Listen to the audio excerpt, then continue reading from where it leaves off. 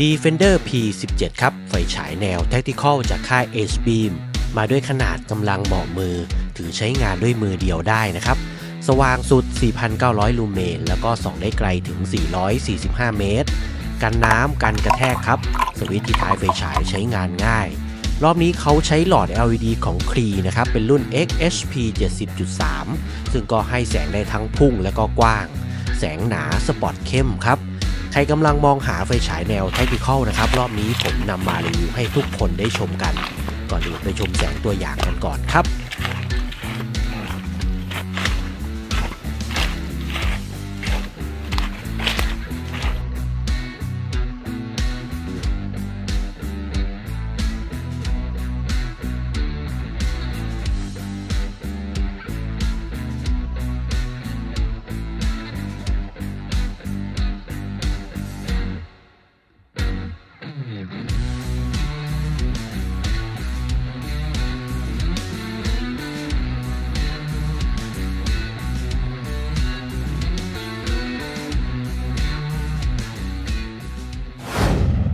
ผมจะพาทุกคนมาแกะกล่องเจ้าตัว Ace Beam Defender P17 กันนะครับ ก่อนอื่นเราเอาราคาไปก่อนนะ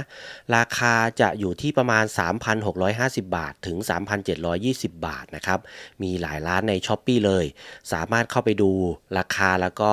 เช็คสินค้าหรือดูราคาอัปเดตได้นะครับ ผมใส่ลิงก์ไว้ที่ใต้คลิปได้ คราวนี้มาดูตัวกล่องนะครับ กล่องด้านหน้าเป็นรูปไฟฉายนะครับ เป็นธีมสีเทาตัดด้วยสีส้มค่อนข้างสวยเลยนะ มีรูปตัวไฟฉายนะครับ แล้วก็ด้านล่างก็จะบอกรายละเอียด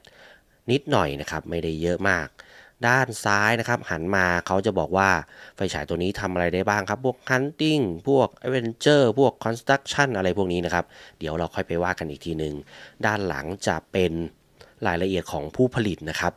ฝั่งนี้ก็จะเรียบๆ ตัวนี้บอกว่าเป็นสี grey หรือสีเทานะครับ โอเค เรามาแกะกล่องเขากันครับ และนี่คืออุปกรณ์ทั้งหมดนะครับ ที่ทาง Acebeam ใส่มาให้ในกล่องของ Defender P17 ครับ มีตัวไฟฉายครับ แบตเตอรี่สายชาร์จแบบ Type C ครับ O-ring สำรองให้มา 2 เส้นครับ ฝั่งนี้ก็จะเป็นสายคล้องมือ แล้วก็คู่มือและใบรับประกันครับ พร้อมใช้งานโอเคครับ เดี๋ยวเราไปทดสอบกัน เรามาดู body โดยรวมของเจ้าตัว Defender P17 กันก่อนนะครับ ผมจะหมุนให้ดู 1 รอบนะครับ ด้านหน้าครับ ตั้งแต่หัวไฟฉายลงมาถึงคอไฟฉายจะมีร่องสำหรับระบายความร้อนนะครับ ถัดลงมาจะเป็นชื่อรุ่นครับ Defender P17 ตัวในส่วนของ body ครับจะทำลายแนวขวางนะครับ เพื่อให้การจับกระชับมือไม่ลื่นนะครับ กันลื่นไปด้วย แล้วก็ไล่จนมาถึงตัวท้ายไฟฉายก็จะเป็นลายลักษณะเดียวกัน แล้วก็จะเป็นสวิตช์นะครับ ผมหมุนให้ดูนะ ตัวนี้ตัว body ของเขานะครับจะเป็นอลูมิเนียมอลลอยเคลือบผิวแบบ hard anodized นะ ให้การสัมผัสที่ดีแล้วก็สีสวยมากครับสีเทา ผมหมุนมาอีกฝั่งหนึ่งครับ เราจะเจอกับคลิปเหน็บซึ่งเป็นคลิปเหน็บแบบ2ข้างค่อนข้างแข็งเลยทีเดียวนะครับ ฝั่งนี้พอจะงัดได้แต่ฝั่งนี้นี่แข็งโป๊กเลย หมุนมาฝั่งนี้จะเจอชื่อแบรนด์นะครับเอ็ดบินเป็นสีขาวตัดกับตัว body สีเทาตัว body ก็จะคล้ายๆกันนะครับ ตัวนี้ไม่มีพอร์ตชาร์จนะครับที่ตัว body หัวไฟฉายครับ จะเห็นหลอด LED แล้วก็โคม โคมค่อนข้างลึกแล้วก็เป็นผิวส้ม ส่วนหัวไฟฉายจะมีเม็ดเซรามิกบีดนะครับ 3 เม็ดที่รอบเบเซลนะครับ 1 2 3 ตัวนี้เอาไว้สำหรับใช้ทุบกระจกหรือใช้ในการต่อสู้นะเดี๋ยวคราวนี้เรามาดูสวิตช์ท้ายกันบ้างท้ายไฟฉายจะมีสวิตช์อยู่ 2 ตัว นั่นก็คือ Tactical Switch นะครับแล้วก็ Functional Switch ผมขอเรียกสั้นๆว่าสวิต์หลักสวิต์รองแล้วกันนะครับ การใช้งานค่อยมาว่ากันอีกทีหนึ่งนี่คือบอดี้โดยรวมของเจ้าตัว S Beam Defender P17 ครับคราวนี้เราจะมาเจาะลึกที่ตรงหลอด LED นะครับ หลอด LED ของเขาเป็น Cree XSP 70.3 ให้ค่าความสว่างสูงสุดที่ 4,900 ลูเมนนะครับ แล้วก็ระยะส่องไกลสุด 445 เมตร ความเข้มแสงตรงกลาง 49,506 แคนเดล่านะครับ อุณหภูมิแสงจะอยู่ที่ 6,500 เคลวินครับ แสงที่ได้ก็จะประมาณนี้ ตัวระบบสวิตช์นะครับ อย่างที่ผมบอกว่าสวิตช์ของเขาจะมี 2 จุด ผมเรียกสั้นๆ ว่าสวิตช์หลักแล้วก็สวิตช์รองนะครับ Tactical Switch หรือสวิตช์หลักใช้สำหรับเปิด แล้วก็ใช้สำหรับปิดนะครับ ตัว Functional Switch ใช้สำหรับ กดเรียกสโตบหรือเปลี่ยนระดับแสงนะ ถ้าไฟติดอยู่ครับ กดลงไป เขาจะเปลี่ยนระดับแสง Low Medium High Turbo นะครับ Low Medium High Turbo วนไปเรื่อยๆนะ แต่ว่าถ้าแสงติดอยู่เรากดค้างครับ จะเป็นการเรียกสโตบทันที โอเคครับ ผมปิดไปก่อน ถ้าแสงปิดนะครับ ตัวสวิตช์โหมด หรือตัวสวิตช์ลอง ถ้าเรากดลงไป เขาจะเรียกสโตบครับ กดติดปล่อยดับ กดติดปล่อยดับ แต่ถ้าอยากให้สโตบติดค้างนะครับ กดไว้ประมาณ 5-10 วินาที ผมกดค้างอยู่นะครับ จากนั้นปล่อยแสงของเขาก็จะติดแบบค้างไว้นะครับ จากนั้นกดอีกครั้งหนึ่งก็ดับ สวิตช์ท้ายนะครับ ตัว Technical Mode ก็คือ เขาจะมีแบบชั่วคราวด้วย แถบลงไป 1 ครั้ง แสงติดปล่อยดับ แถบหนึ่งครั้งแสงติดปล่อยดับ กดแบบเต็มก็จะติดนี่ก็คือตัวระบบสวิตช์ของเขานะ คราวนี้มาดูโหมดแสงนะครับเขามีโหมดแสงให้เลือกอยู่ 3 โหมดก็คือ Daily Mode นะครับ Tactical Mode 1 แล้วก็ Tactical Mode 2 ซึ่งโหมดที่ผมสาธิตให้ดูเมื่อสักครู่นี้นะครับ ก็จะเป็น Tactical Mode 1 นะครับ ก็มี Low Medium High Turbo Strobe ส่วนในเรื่องของตัวแบตเตอรี่นะครับ แบตเตอรี่ที่เขาให้มาจะเป็นแบบแบตเตอรี่ 21700 นะครับ 5,100 มิลลิแอมป์นี่ครับ 21700 5,100 มิลลิแอมป์นะครับ เป็นลิเธียมไอออนแบตเตอรี่ครับ โอเค ผมจะใส่เข้าไปก่อนนะ ในเรื่องของแสงนะครับ จากแบตเตอรี่ 21700 5,100 มิลลิแอมป์เขาจะรันเทอร์โบ แสงเทอร์โบนะครับ 4,900 ลูเมนเขาจะเปิดได้ที่ 40 วินาที หลังจาก 40 วินาทีครับแสงของเขาจะ drop ลงมาที่ 1,250 ลูเมน ก็จะเปิดได้ 1 ชั่วโมงกับอีก 55 นาทีนะครับ หลังจากนั้นก็จะ drop ลงมาที่ 90 ลูเมน ก็จะเปิดได้ต่ออีก 1 ชั่วโมง ซึ่งแสงเทอร์โบนั้นถือว่าน่าจะครอบคลุมการใช้งานนะครับ ส่วนขนาดของตัวไฟฉายนะครับ มาเริ่มที่หัวไฟฉายเลย เส้นผ่าศูนย์กลางของหัวไฟฉายครับจะอยู่ที่ 41มิลิเมตรความยาวหัวจรดท้ายจะอยู่ที่ 147มิลิเมตรนะครับ แล้วก็น้ำหนักรวมแบตเตอรี่แล้วจะอยู่ที่ 227 กรัม ถือว่ามีขนาดน้ำหนัก พอสมควรนะถ้าเทียบกับขนาดที่ใกล้เคียงกันนะครับ แต่ว่านี่ก็คือรวมแบตแล้ว 227 กรัม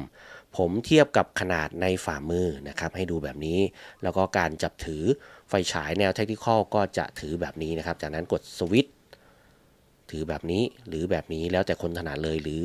ถ้าถนัดแบบนี้ก็ใช้ได้นะครับ เพียงแต่ว่าเวลาเอื้อมมาเปิดสวิตช์ครับเขามีสวิตช์สองตัวสวิตช์เปลี่ยนแสง ถ้าจับแบบนี้มันก็จะถนัดกว่าแค่นั้นเอง เปรียบเทียบขนาดในมือให้ดูชัดๆอีกรอบหนึ่งนะครับ ตัว Ace Beam Defender P17 ครับเขาให้มาตรฐานการกันน้ำมาที่ IP68 สามารถใช้ลุยน้ำลุยฝน หรือจุ่มน้ำได้เลย แต่ข้อควรระวังก็คือทุกส่วนที่เป็นข้อต่อนะครับ หมุนให้แน่นขันให้แน่น แล้วพอขึ้นจากน้ำเสร็จก็เช็ดให้เรียบร้อยนะครับ การการกระแทกจากความสูงที่ 1.5 เมตรครับ ตัวไฟฉายยังสามารถใช้งานได้ แต่ว่าอาจจะมีริ้วรอย ถ้าเกิดว่ากระแทกของแข็งของมีคม หรือวัตถุที่เป็นโลหะอะไรพวกนี้นะครับ ไฟฉายยังสามารถใช้งานได้นะ แต่อาจจะมีรอย เพราะฉะนั้นควรระวังนะครับ ในส่วนของแสงสโตรบนะครับ แสงสโตรบเขาจะให้ค่าความสว่างที่ 2,000 ลูเมนนะ ผมจะเปิดให้ดูอีกครั้งหนึ่งนี่ครับ ก็คือกระพริบที่ 2,000 ลูเมนเลย ส่องเข้าตาเพื่อยับยั้งหรือหวังผลเนี่ยผมว่ามีสตันไปเลยนะครับ โอเค ปิดไปก่อน ตัวสโตบครับจะเปิดได้ 2 ชั่วโมง 47 นาทีนะครับ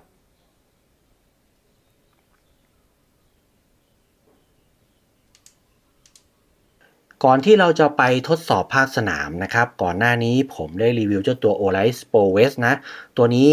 5,000 ลูเมนนะครับ ส่วนตัวนี้ 4,900 ลูเมน ซึ่งผมว่าขนาดแสงของเขานะ ใกล้เคียงกันมาก ๆ นะครับ 4,900 ลูเมน 5,000 ลูเมน เพราะฉะนั้นผมจะเอาเจ้าตัวนี้มาทดสอบแสงเทียบให้กับทุกคนได้ดูกันนะครับ แต่บอกก่อนว่าแสง 2 ตัวนี้ จากสเปคนะค่อนข้างที่จะแตกต่างกันนะครับ แต่จะแตกต่างกันยังไงนั้น เดี๋ยวเราไปดูภาคสนามกัน เพราะว่าตัวนี้น่าจะแนวพุ่งกว้าง ส่วนตัวนี้แสงกว้างแบบชัดเจนเลย แต่ที่มันใกล้เคียงกันก็คือ ค่าความสว่างนะ เดี๋ยวเราไปทดสอบกันดูนะครับ จะได้มีข้อเปรียบเทียบ แล้วก็จะได้เห็นลักษณะลักษณะแสงที่มันแตกต่างกันด้วย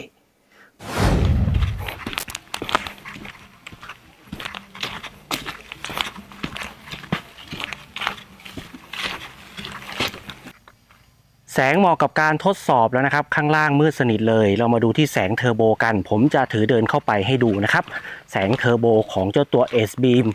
Defender P17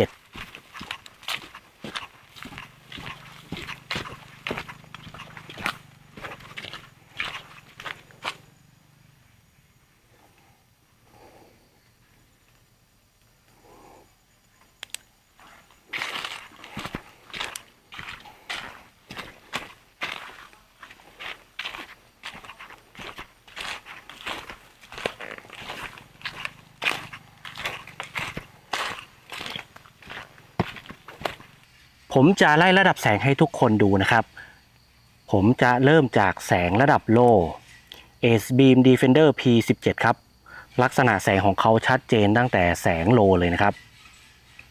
ส่องใกล้ๆสปอตตรงกลางชัดเจน มีเดียมครับ มีเดียมนี่แทบจะใช้งานได้แล้วนะ ในสภาพแวดล้อมที่มืดสนิทนะครับ ไปที่ไฮครับไฮสว่างมากๆนะครับ เกือบๆจะเต็มเฟรมแล้วนะ แล้วก็ไปที่แสงเทอร์โบ สว่างขึ้นมาเยอะมากๆนะครับสำหรับแสงเทอร์โบ ตรงกลางเข้มครับ ถ้าส่องใกล้ๆนี่จะเห็นว่าตรงกลางเข้มมาก ผมจะถือเดินออกไปให้ทุกคนดูนิดนึงนะครับ ให้ดูลักษณะแสง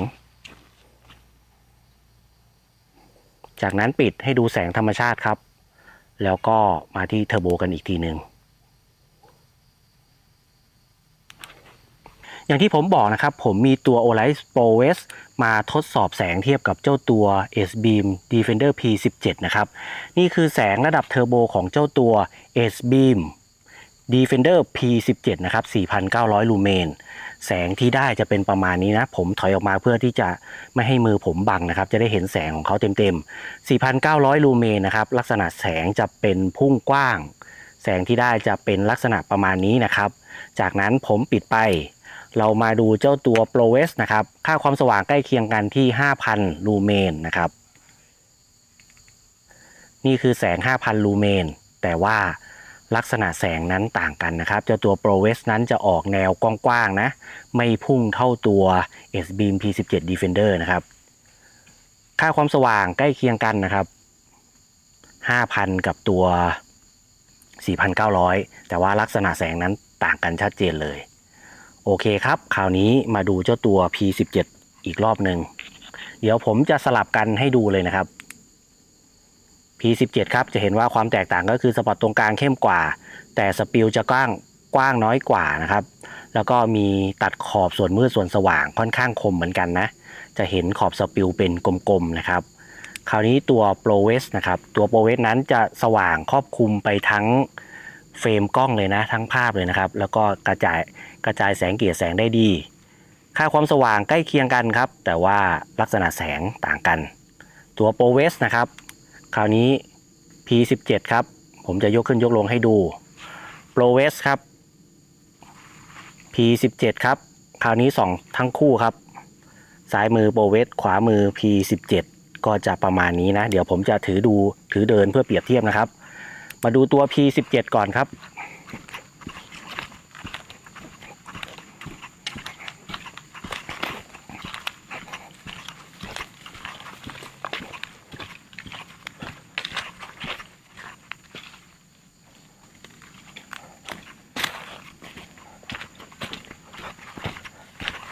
นี่เป็นแสงของเจ้าตัว S Beam Defender P17 นะครับ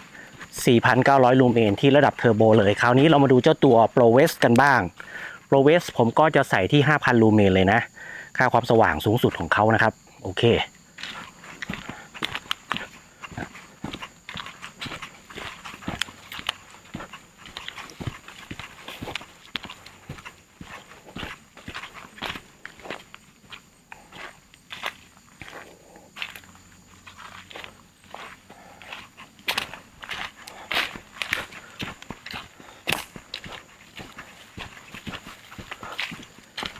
ตัวนี้เป็น Pro West นะครับ 5,000 ลูเมน จาก o l i g h t เปรียบเทียบให้ดู โอเคครับ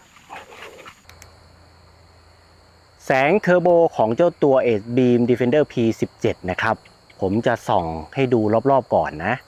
ฝั่งซ้ายครับที่เป็นกำแพงต้นไม้ ระยะกลางๆ ส่องไปที่กลางภาพครับ ด้านล่างนั้นจะเป็นต้นกล้วยนะครับ ต้นกล้วยเยอะเหมือนกันแล้วก็ฝั่งขวา